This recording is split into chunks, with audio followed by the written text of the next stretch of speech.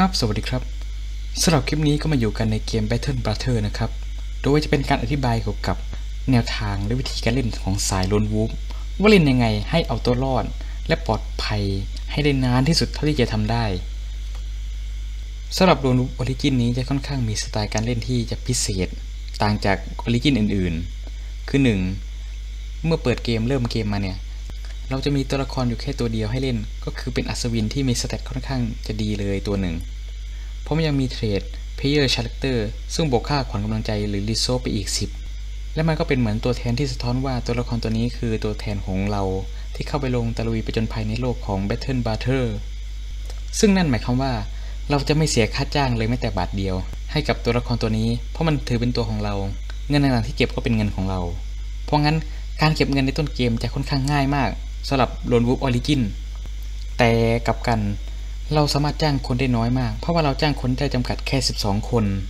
ซึ่งนั่นทำให้อาจจะยากไปในกรณีที่เราต้องไปเจอกับในช่วงเลดเกม ที่เรามีตัวละคร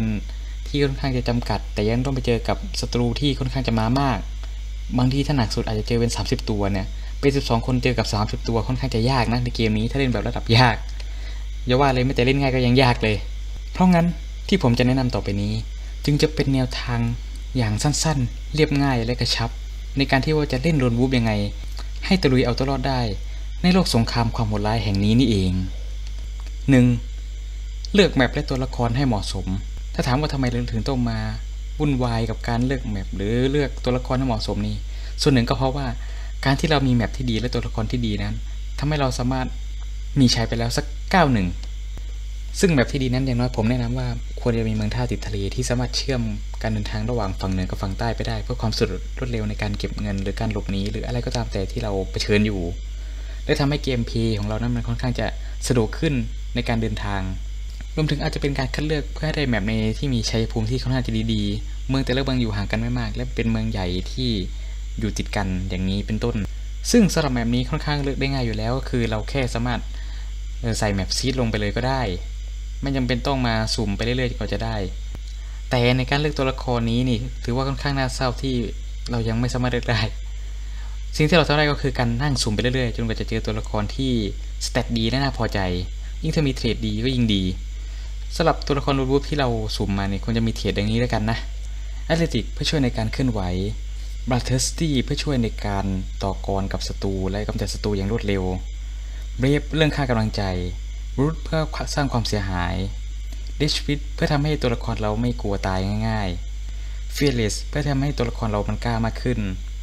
Impatient เพื่อให้ตัวละครเราวิ่งไวๆขึ้นในแต่รอบแรก Iron Lungs เพื่อให้ตัวละครเราเหนื่อยยากไอรอนจอเพื่อป้องกันการบาดเจ็บของตัวละคร ลัคกี้เพื่อให้ตัวละครเรานั้นสามารถอยู่รอดได้ดียิ่งขึ้นสตรองเพื่อให้ตัวละครเรายืนเกมนานขึ้นและวิเซลเพื่อให้ตัวละครเราสามารถชิ่งได้ดียิ่งกว่าเดิม สำหรับค่าสถานะตัวละคร อันนี้ก็ต้องให้ดูไว้หลักๆเลยคือ 4 ตัวหลักนี้ก็คือ ในส่วนของค่าการโจมตีระยะประชิด การโจมตีระยะประชิดยังไงก็ตามเลยก็คือ ถ้าใช้ตัวละครเราให้ดีนี่ควรจะเริ่มเตรียมควรจะมีสัก 65 เพราะตัวละครเรานี่มันจะมีเป็นสเตตเออมีความถนัดด้านนี้ 3 ดาว ซึ่งหมายความว่าบวกขั้นต่ำแล้วคือยังไงมันก็ขึ้น 3 แน่นอน แล้วเมื่อเราบวกไปเรื่อยๆจนกว่าเวลจะมันตันที่ 11 นี้เราก็แน่นอนเราปาไปได้ตั้ง 33 หน่วยแล้ว ซึ่งมันก็ถือว่าเยอะใช่เล่น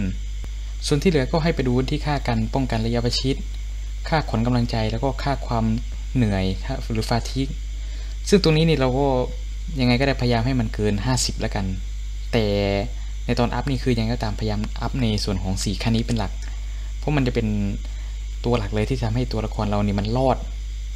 ไม่ใช่คือให้เทพนะ เอาให้รอดเท่านั้น 2. รู้จักประเมินสถานการณ์ และเก็บเงินให้ได้มากที่สุด ซึ่งสำหรับในการประเมินสถานการณ์นี้ มันก็ต้องดูที่หลายปัจจัย ซึ่งหลักที่ผมต้องการอธิบายก็คือ การเลือก quest สำหรับ quest นี้ก็คืออันหลักๆ เราจะมี quest ก็คือนะการคุ้มกันคาราวาน การส่งของ การปราบโจร การเข้าไปเผาทำลายสิ่งปลูกสร้าง และยังรวมไปถึงของ quest ขุนนางอีก ซึ่งสำหรับ quest นี่คือ ถ้าผมจะแนะนำให้ดีสุดก็คือ เลือก quest อะไรก็ได้ แต่เมื่อเห็นว่าไม่คุ้มให้ถอยหนีทันที ถ้ามันเกินกำลังเราเมื่อไหร่ให้ถอยหนีซะ ไม่จำเป็นต้องดังทุรัน เพราะอย่าลืมว่าตัวละครเหล่านั้น มันตายได้ทุกเมื่อ แล้วเมื่อตายแล้วเกมจบเลยทันที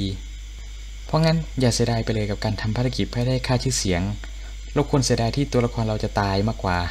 ต่อให้แม้จะต้องเป็นการทรยศหักหลังต่อนายจ้าง แต่ถ้ามันทำให้เราสามารถเอาตัวรอดและมีเงินเก็บไปได้ ก็ควรทำซึ่งเควสที่ผมแนะนำเลยก็คือ เควสการคุ้มกันคาราวาน เพราะหนึ่งเมื่อเราทำภารกิจคุ้มกันคาราวาน เรามีสิทธิ์ที่จะหนีได้ทุกเมื่อ โดยใช้บรรดาพ่อค้าคาราวานเนี่ยเป็นเหยื่อล่อเพื่อให้เราหนีไป ในสิ่งที่เราคิดว่าไม่มีทางเอาชนะแน่นอน ซึ่งตรงนี้นี่ก็ 50-50บางทีเราอาจจะเจอกลุ่มโจรกระจอกที่เราจัดการได้ง่าย แล้วมีกลุ่มพ่อค้าที่คอยเป็นช่วยสนับสนุนเรา หรือถ้าแย่หน่อย เราก็แค่หนีเท่านั้นเองไม่ต้องกังวลอะไรมาก หรือ quest การส่งของ อันนี้ก็ยิ่งง่ายไปอีก เพราะว่าเราส่งของเราสามารถเลือกเดินทางได้อิสระ จะเข้าไปเมืองไหน จะเดินทางผ่านสายไหนยังไง ก็ปลอดภัยไม่อันตราย แต่สำหรับเควสในส่วนของที่ผมต้องห้ามเลยก็คือ quest เกี่ยวกับในการที่จะบุกเข้าไปสำรวจในซากโบราณ หรือ quest ที่บุกแคมป์โจร หรือ quest ที่เกี่ยวกับการปกป้องตนเองจากแม่มด หรือสู้กับพวกบรรดาเราในแม่ ซึ่งภารกิจเหล่านี้นี่เป็นภารกิจที่มันยากเกินกว่าจะทำคนเดียวได้ เพราะงั้นพยายามหลีกเลี่ยงไว้ ไม่ว่าจะให้เงินดีแค่ไหน เพราะเราต้องยึดเป้าหมายหลักก็คือ เราต้องรอด 3. จงเอาตัวรอดจากสงครามให้ได้ในทุกสมรภูมิ มีทางหนีที่ไล่อยู่เสมอ ซึ่งสำหรับในการเอาตัวรอดของโรนวูฟนี่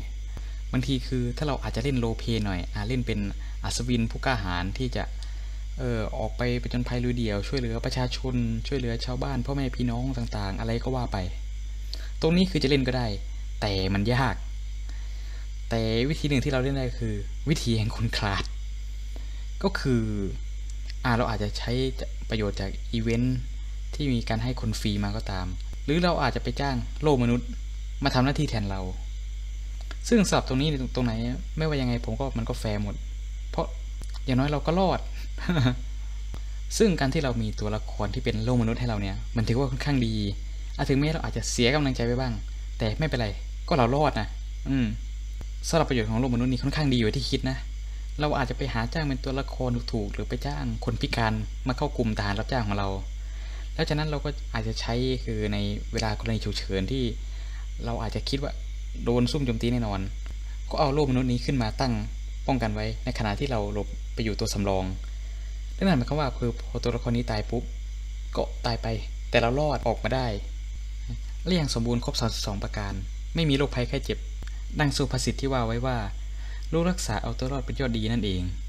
4. วางแผนการอัปเกรดตัวละครให้ถูกทางและรัดกุม ซึ่งสำหรับ Lone Wolf นี่ จากประสบการณ์ที่ผมเล่นกับในตัว origin นี้มานานนี่ ผมมองว่ามันเล่นได้ 2 แบบก็คือเล่นเป็นในสายที่การบุกคือทุกสิ่ง กับ การป้องกันคือทุกสิ่ง แต่หลักๆเลยการเอาตัวรอดของตัวละครนี้ได้ก็คือต้องอัปเกรดให้ได้ perk Lone Wolfเพื่อเพิ่มโบนัสในค่า status ต่างๆ อีก 15%ไม่ว่าจะเป็นการโจมตี การป้องกัน และค่าขวัญกำลังใจ ซึ่งถือว่าค่อนข้างมีประโยชน์มาก เพราะมันสามารถทำให้เอาเราตัวรอดได้หลายครั้งแล้ว ลองคิดดูว่าถ้าเรามีค่าโจมตีระยะประชิดสักร้อยหนึ่งเนี่ย แล้วบวกไปอีก 15%ก็เป็น 115 ก็เนี่ยไม่มีศัตรูตัวไหนที่จะต้านเราอยู่แล้ว ซึ่งสำหรับในสายการอัพของผมนี่ผมก็จะอัพหลักๆก็จะไล่ไปตามนี้นะ Recover เพื่อช่วยฟื้นฟูค่าความเหนื่อย Gifted เพื่อเพิ่มค่าสถานะของตัวละครเราให้ดียิ่งขึ้นบางนี้ให้ตัวละครเราสามารถสวมเกาะได้ดียิ่งขึ้น Weapon Mastery อันนี้แล้วแต่เลยว่าเราจะได้อาวุธไหนมาใช้และเหมาะสม Underdog เพื่อการการโดนลุม Berserk เพื่อกำจัดศัตรูให้เร็วที่สุด b a t t l e f o r c e เพื่อให้เกาะเรามันทนยิ่งขึ้น Killing Frenzy เพื่อให้ตัวละครเราสามารถโจมตีได้แรงขึ้นสำหรับเพิร์กที่เหลือนี้ก็สามารถอัปเกรดไปได้เลย ตามที่ถนัด หรือตามสายกระเด็นของเรา อย่างถ้าผมเล่นสายจู่โจม ผมก็อาจจะมีเพิ่มในส่วนของ Executioner เพื่อให้เราสามารถสร้างความเสียหายกับศัตรูได้มากที่สุด Overwhelm เพื่อทำให้ศัตรูนั้นอ่อนแอจนไม่สามารถจะโจมตีเราได้พอในแต่ละเทิร์นเพื่อทำให้ศัตรูเรานั้นกลัวไปก่อน หรือไปสายป้องกันก็อาจจะอัพเป็น Colossus เพื่อให้ตัวละครเรามีเลือดมากขึ้น Nine Lives เพื่อให้ตัวละครเราสามารถอยู่รอดได้ แม้ว่าจะเฉียดตายแค่ไหน Reach Advantage เพื่อเพิ่มค่าป้องกันการโจมตีระยะประชิดในแต่ละครั้งที่เราโจมตีด้วยอาวุธ 2 มือ หรือ Indomitable เพื่อให้เราสามารถรับมือกับการถูกรุมตีนได้ทุกเมื่อ เพราะงั้นเลยในจึงกล่าวได้ว่าในเรื่องการอัพ perk อัพ status นี่ บาง perk อาจจะไม่จำเป็น หรือบางเพื่ออาจจะจำเป็นขึ้นอยู่กับสไตล์การเล่นกับศัตรูที่เราต้องพบกับเครซิสในช่วงนั้น หรืออาจจะเป็นอาวุธที่เราดับได้ เพราะสำหรับลุนวูฟนี่แล้วมันจะเป็นที่ต้องยึดติดกับอาวุธประเภทใดประเภทหนึ่งบางทีอาจจะสลับสับเปลี่ยนได้ตามความเหมาะสมและการใช้งาน ซึ่งถ้าเราเล่นเป็นสายเป็นสายคล่องตัวอย่างนั้นนี่ก็อาจจะไม่จำเป็นที่ต้องใช้เวปอนมัสเตอรี่ก็ได้ 5. จงภาวนาให้เทพแห่ง ING คุ้มครองคุณ แน่นอนอยู่แล้วว่าเกมนี้นี่ต่อให้เราจะมีการอัพสถานะอัพ status ที่เก่งหรือเทพ หรือมีอาวุธแบบชั้นเลิศประเสริฐศรีแค่ไหน สุดท้าย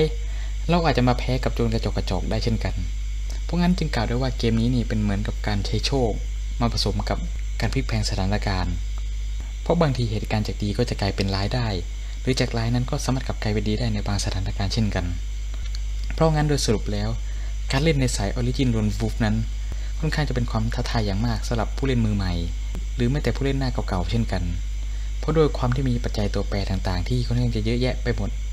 ยิ่งถ้าเล่นแบบ roleplay แบบ Lone Wolf นี่ ก็ยังถือว่ายากเลยเพราะผมก็ยังเล่นไม่เคยผ่านเท่าไหร่ ต่อให้ตัวละครเราจะเก่งเทพแค่ไหน แต่ในความยากนี่เองก็มีความสนุกของมันอยู่ และผมก็หวังเป็นอย่างยิ่งว่า สิ่งที่ผมได้แนะนำไปจากประสบการณ์การเล่น ยาวนานหลายชั่วโมงของผมนี้ จะถือได้ว่าเป็นการแชร์ประสบการณ์ให้กับทั้งผู้เล่นหน้าเก่าและหน้าใหม่ ซึ่งสำหรับคลิปนี้ถ้าผมมีติดขัดผิดพลาดหรือบกพร่องยังไง ก็ต้องขออภัยด้วยนะที่นี้ หากมีความเห็นหรือประสบการณ์ที่อยากแชร์เกี่ยวกับการเล่นสายลนวูบยังไง ก็สามารถลงได้ใต้คอมเมนต์นี้เลยครับสำหรับคลิปนี้ก็ขอบคุณครับ